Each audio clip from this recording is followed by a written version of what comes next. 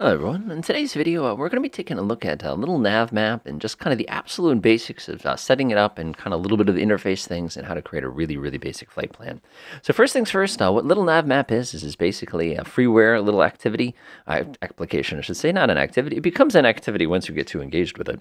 That basically gives you the ability to uh, plan out maps. It gives you different types of terrain maps, different types of waypoints and interfaces with the thing. It's an amazingly effective program for it being no cost. So first things first, uh, to get your hand on it, if you go online, or you can steal this little link up here, you got the status of releases and downloads. You're just going to go ahead and grab it. Uh, focus on Windows, you're going to get this glorious little zip file. You simply unzip this little file somewhere, and you get all these files like this, which means you do not need administrative access to even install this thing, which I think is great.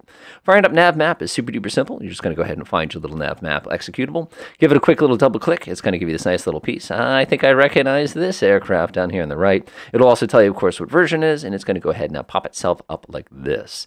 Uh, once you get over to this point, of course, uh, this is uh, the basic interface that you can see here. Obviously, I was doing some flight planning. It tries to open up the last flight plan that you were working on previously. Go ahead and reset everything real quick to make it a little bit nicer. Um, if you do any sort of uh, measurements or anything like that, those are all going to be persistent, which is pretty cool. But before we even get into any of this, you'll probably notice I have a tremendous amount of airports all over this place. As a matter of fact, you have multiple different things that you can bring into existence here. I've got airports, I've got uh, navigational aids, I've got jetways, I've got ILS feathers, I got everything. You will have none of this when you first start your actual program. So if you want to actually go ahead and get all this data from the flight simulator of your choice, whether it's X-Plane or Flight Simulator, you have to click this little button up here. So what this is going to do is it's going to bring up this option called Load Scenery Library. And what this does is it allows you to pick the simulator you want and then pick the base simulator path. As soon as you do this, you can come down here and you can go ahead and press the load button. What this will do is it will go ahead and import all of the airport navigational data in the universe directly into the program. You have to do this first. Now, by the way, something you want to watch out for is if the navigation data in your favorite flight simulator is updated, you're going to have to actually come in here and tell this to get the data again. So I'm actually going to press the load button right here. Now, what's going to happen is it's going to zip through and count the files, and then it's going to mechanically go ahead and load everything in. Keep in mind, if you have an Change, A-I-R-A-C, you're going to have to be updating these. And again, the process doesn't take a terribly long period of time, but it will take a few moments. So uh, let's use some magic of editing here. I'd make the two minutes and 30 seconds later comment, but um, you can see that it did a pretty nice job. All right, I go ahead and press the OK button, and I can actually see, even from my example here, that it quickly went ahead and grabbed um, some new details that were ch changed over time. Now, like I said, you don't have to do that every single time, but it's important that every once in a while, when there's a major navigation update, that you do take the time to quickly do that. The second thing that I want to show off uh, before, again, we get too carried away with kind of the basics here, is the fact that you have the ability to actually connect to a flight simulator. If you click on this uh, button up here in the top, you have a different choice here. You can either select an FSX, Prepar3D, or Prepared, or whatever you want to call that one, and MSFS. Now, the great thing with this is, is that because this stuff is kind of pre-built in and automatic, you can literally just open up Flight Simulator, and it'll actually connect automatically and pop your plane down here on the map anywhere where you're actually currently located. Now, this is great because you can also tell it not to grab the AI airplanes everywhere around with this little setting here. Again, this is pretty accurate. So the other thing, too, is uh, you got to watch out for X-Plane, though. X-Plane is not the same as uh, using um, MSFS or FSX. It actually requires a special plugin to be installed into the X-Plane data directory in order to work properly. Now, the good news is, is if you already have this here, you probably discovered that you have XP Connect, which is the actual tool used to go ahead and put this into your X-Plane uh, little drive here. So if you were to go up to this uh, little folder and just drag this into your plugins folder into X-Plane, you would also have X-Plane connectivity in addition to what you're going to have in the regular connectivity that you had already with MSFS. So let's go ahead and pop this sucker open again. Cool. So now that you've got your data and you got your simulation connection, let's take a look at some of the absolute basics here. Now, the cool thing here is that with this program, uh, left click and drag is going to be uh, dragging your map perspective. Right click is basically going to bring up a context menu. Uh, this is the most amazing context menu I've ever seen because it is completely dependent on what you right click on. You know, if I right click on this VOR over here, Hartford VOR, it's going to give me new options here. If I right click, you know, right on this little ILS feather, for example, it'll give you specific information for that as well. I'm actually going to go ahead and clean clean up, I got myself a user point, I can actually just delete that user point that quickly and that easily. You know, if I want to quickly work around different pieces here. There's a couple built-in tools which um, I use all the time. Uh, one of those is going to be drawing a range ring. The other one's going to be drawing a distance ring. To draw a distance, uh, you can just hold down the control key, left click once, and then you can go ahead and get this beautiful little line to go ahead and calculate things. Other thing you can do, of course, is if you right click, you can also add range rings. So if I shift click, I get a range ring, shift click again to delete. Control click gets me this great bearing tool. And again, control click again on the X here, we'll go ahead and delete that. It's just a really, really good tool when you're planning out flights and trying to work out how far things are going. Speaking of planning out flights, uh, if you look at the top here, uh, we've got a wide variety of different options. These are basically going to be controlling what's visible on the map at any given time. So for example, if I wanted to just soft runways, I could shut off my runway button and leave this one on. If I wanted to take a look at empty airports, I could push this button and see just the empty airports. Keep in mind, the empty airports here, uh, if I turn them on or off, are basically these old school, yeah, like Heckler Field, of course, and Coventry, stuff like that. We also have the option to turn VORs on and off, NDBs on and off. You can turn waypoints on, Bad news, all waypoints are visible. You can't select between high altitude and low altitude. The moment you mash that button, I bad news, you're going to get them all. Other, of course, things you can do is you can get ILS feathers. Uh, these are really cool because they let you find out where ILSs actually exist, even though you can't actually find them. So now this is cool because you'll see this one down here. I believe uh, that's going to be HPN. No, it's Danbury. It's got this massive feather. This is probably an LDA. Hartford also, if you look at it real quickly, you can tell you're working with an LDA because they're not coincident with the, uh, I should say, parallel with the runway heading there. So it's actually very neat neat little way to look around. The V, J, and T are basically going to give you your Victor Airways, which are low altitude, and you have your J for your jetways, which are your high altitude. Now, kind of the downside to this, though, is, you know, if I look at this, yeah, it gives me the waypoint and everything like that, but it's a little different to get information on it. But the cool thing with this program is if you left click on any object, it brings up a display over here in the bottom left that gives you information about that object. So for example, if I click on this jetway, this is a Juliet 68, I can actually press the map key and it will highlight the entire jetway for you in one zap, which is amazing. It'll also give you things like the appropriate altitudes. It'll also give you the lengths. It'll also give you the waypoints for those of you who are doing a manual flight planning. Also in the top right corner, you have basically a little search bar that you can actually go ahead and select the different items. Now, if you're like me and you accidentally close this like for the 35th time, you can actually come up here and reopen it by go ahead and clicking on here. For example, if I click that button, it brings up this window. If I go ahead and uh, actually, let's say, oh, I don't want to have my legend. Oh, let's put the wind legend on. You can click that and it'll actually open that window back up again. So if you're like me and you accidentally close everything, you can just come back. Now notice that like it's always context sensitive. It'll remember the last airport you had. It'll give you your frequencies. It'll give you altitudes, your dreaded magnetic deviation. It'll also tell you where it's getting that particular scenery from. Other options from this aircraft, uh, this program I should say, I say aircraft law, what can I say? Is it gives you the ability to actually connect with weather. I'm actually going to shut off my uh, jetways here because this gets a little messy. Notice this is still visible even though I went ahead and made it uh, go away. So you can track these things just by the ones you wanted to track there, which like I said, that's super duper helpful. Other options you have, of course, is if you swing over to this side of things, you have the ability to display the history of your aircraft on the actual um, map. So if we've been uh, cruising around for a while, you can actually see where you cruised from. This option is really cool. It gives you the ability to get a compass rose around the aircraft that you're flying. And coming over to here, um, we have a couple other options. Uh, we can actually see things like a map grid, which for people who are a little old school, like myself, this is a wonderful tool if you want to get a little precise, like if you're doing satellite navigation simulation, for example. We also have the ability, of course, to uh, see country names, but unfortunately, you'll notice this option is not selected. The reason it's not selected is because depending on what terrain you import is going to dictate what option you have up here. So, for example, if I do OSM, you're going to get an OpenStreetMap here, and you're going to have a slightly different set of rules. Um, as far as uh, preferences for me goes, I love simple because it, again keeps it nice and simple. There's even this little atlas mode, which is uh, ultra ultra ultra simple, but it's again it's more than enough information that you're going to need.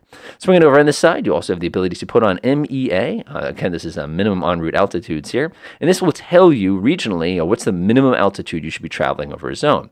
Now, of course, when you look at over where you know chilling here in New England, these zones are pretty high, but obviously, well, if we want to swing all the way over here you'll notice uh, the minimum en route altitudes get a little bit higher, but this is a great way to do some flight planning in a hurry. You also have the option to turn uh, weather icons on and off. Let me go ahead and flip myself all the way back over here. But before you can do anything with weather, you have to actually select the source of weather that you're getting for the flight simulator. I should say my little chart here. So if you actually go up to here where it says weather and click on airport weather source, you can dictate where the wind is coming from. Um, NOAA is very, very helpful, assuming you don't have any connection errors. Active Sky is pretty effective. But notice there's a selection for a flight simulator. You can actually get the weather out of your flight simulator. So one of the reasons this is so cool is you can go into the flight simulator, set the weather, come back here and set that as the weather source. And now when you do your flight planning, it's going to automatically do all the hard work for you in the background as far as predicting your appropriate winds and altitudes and stuff like that. You can also, of course, pick VATSIM for those of you who fly for that. You don't need to be connected to VATSIM to get it. You can just click on it. And now we have VATSIM's weather. And you can even come all the way up to here. Oops, sorry. And you can even set it to IVAO for those of you who like to apply an IVAO as well. Personally, for me, I like to leave it on NOAA, but it's all going to depend on what you need directly. All right, go ahead and pop that out. So what does that do for us? What that does for us is it's going to give us these little tiny circles, which are going to uh, explain to us what the weather at a given location is. You know, if I want to see some information for this airport, I can actually click on it, and it'll actually tell me everything about it, and it'll even tell you the weather. Like uh, today, we have an incredibly powerful uh, cold front that's basically trying to get forced out by a warm front. So my winds here are 13 gusting 20 which is uh, staggering. But we can also actually look at these little icons, kind of like you can with Sky Vector, to know exactly what the weather is. Like, you know, coming up this way, I notice that this icon is completely filled in green. So you're sitting there going, well, what does that mean? Well, if I actually come over here and I take a look at it real quick, we'll show information for it. I can see that, let's see here, few clouds at 8,000, overcast. Whereas this one, where it's got a little bit of that pie, simply says that the sky is slightly open. Of course, if you go up to Westfield, you'll notice that there's a completely clear sky because the little pie here is filled in all the way. With that, thinking about weather as well, is you have these little wind barbs that allow you to determine the wind speed. Now, these are surface wind speeds. These are not altitude wind speeds. If you want these, it gets a little more complicated. So what I'm going to do is I'm going to go up to weather, select wind source, and I'm going to go ahead and grab NOAA for my wind source. So what this is going to do is it's going to reach out online and go ahead and get me some wind. So what I can do now is I can actually pick my altitude and it will show me little wind socks at the wind's altitude. So for example, if I set it to ground, I can see clearly that we have some wind over here. Again, this is going to be each long line. Let me zoom in a little bit to help you out. Each long line is going to be counting as 10 knots. The little short lines are uh, 5 knots. So this is 25 knots at our selected altitude of ground. So 25 knot winds is pretty staggering. So of course, this little line here also tells us the direction of the wind, in which case it is uh, north. It's north. It's like west northwest kind of a kind of a direction. You can hold your mouse over it as well, and it'll actually read off the wind for you at that time. Which is again, this is like spoiling. I wish I had this technology back when I used to fly. But you can see all the different altitudes for the purposes of flight planning. You can also tell it to be at flight plan altitude, which is awesome. So let's go ahead and see how bad the winds are at 30,000 feet today. Yee, look at this. Uh, that is a 35. No, actually, it's not terrible for altitude. And then, of course, uh, every once in a while, you're going to get one of these. It's going to have the double barb on it, which is always kind of fun. It's going to give you heads up that you're dealing with gusts as well. Okay, so the last thing we're going to take a look at today, I'm going to go ahead and set this back to at flight cruise plan altitude, is how to quickly make a flight plan inside of Little Navmap. So first things first, I'm actually going to go back to a Stamen terrain here. I'm going to go ahead and I'll take a look. Oh, it looks pretty messy. So there's a million and one different ways you can create a flight plan. Now, if we want to, we can actually do one basically by clicking on the items we want in our flight plan. I'm actually going to shut these off for a second here just to make it a little bit easier to see. All right, so the easiest way to do a flight plan is to simply right click on the objects you want to add to your flight plan and go ahead and add them to your flight plan. So for example, let's say uh, we're up in here in Gardner, Massachusetts, and I want to start a flight plan. I'll right click on it, come all the way down here, and I'll say add Airport Gardner to flight plan, or I can set Airport Gardner Municipal as departure. So as soon as I click that, it gets highlighted and it's going to be added to this little box over here on the left, saying that it is now part of our total flight plan. Notice with our little flight plan here, we have an option to dial in what altitude we're going to be cruising at, what rules we're going to be following, as well as auto-generating some of these items as well. So let's go ahead and say we're going to take off from Gardner Municipal. Uh, we're going to fly over to, uh, let's say we're going to go down to here to Marlborough. I'm going to go ahead and right click on it. I'm simply going to come down here and say add. You can also control alt left click to add something as well. So I've got my start point, I've got Marlborough here. I'm going to go down, let's go down to Hopedale Industrial. Why not? We'll make things interesting. We'll pop over to uh, Thompson. I'm just going to go ahead and say there. And I'll go ahead and swing up to uh, Northampton. We're going to, oh, oh no. As you can see, um, it automatically attempts to link waypoints based on what is closest to your original destination. So in this case, unfortunately, I wanted this waypoint, but it automatically lined it up here. If this happens to you, simply come over on the waypoints here, find the offender, in this case, I'm just going to pick um, Northampton here, and hold down the control key and use down arrow to put it back from where it belongs. And you can also, of course, right click on it and you can move legs up, down, or delete them. Now, one of the things I really get a kick out of here is that you can actually select the waypoint and press enter and dial in information about it, which will show up inside the remarks page. Uh, be careful here. There are fireworks.